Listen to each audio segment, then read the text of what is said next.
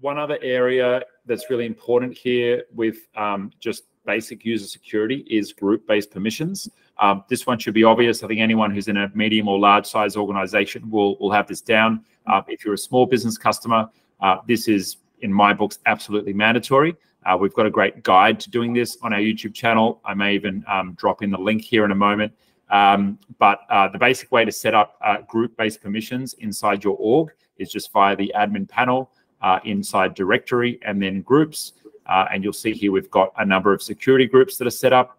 You can start with some really basic groups, you know, sectioning off some assets just available to executives, some assets just to management, and then others for all team or for everyone. Another group we like to create is a group called contractors. Uh, where's contractors? There we go. There's contractors. So anyone who's outside your business, rather than sharing resources individually, we just put people into a contractors group. Um, and then we don't have to remember where we've shared individual files with a particular contractor. We just add them to the group. And when their contract um, or their agreement is terminated, they're no longer doing uh, business with us.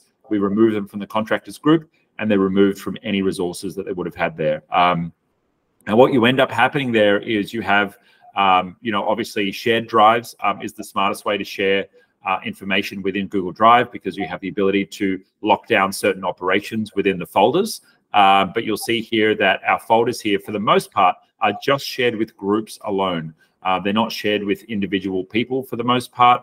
Um, when we share them with groups, it means that if you're not in the security group, you don't get access, full stop. Uh, it's just very, very simple and basic way of doing permissions, which means that not only is it scalable, but it's very safe. Um, and you then want to build a culture inside your business of team members not sharing files individually. They must put files into a shared folder, and you just make that the rule. Uh, and uh, I wish we could lock down individual file sharing by a, via a policy. I wish we could do that. Unfortunately, there's there's uh, no easy policy to do that that I've found. Um, but what we can do is we can, as much as possible, create culture within the business and uh, within our teams of sharing via shared drives. You put the file, you create a file, you put it in the shared drive uh, that's appropriate for your team or for your area of the business, and then you can share the URL. That's fine because the right people will have access to it.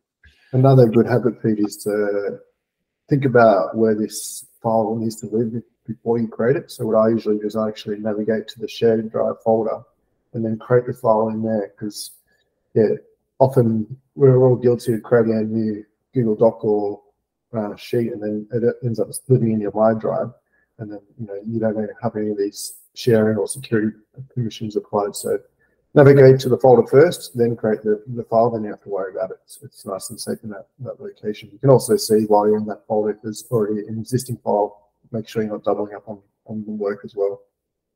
Yeah, thank you. Uh, thank you, Adrian.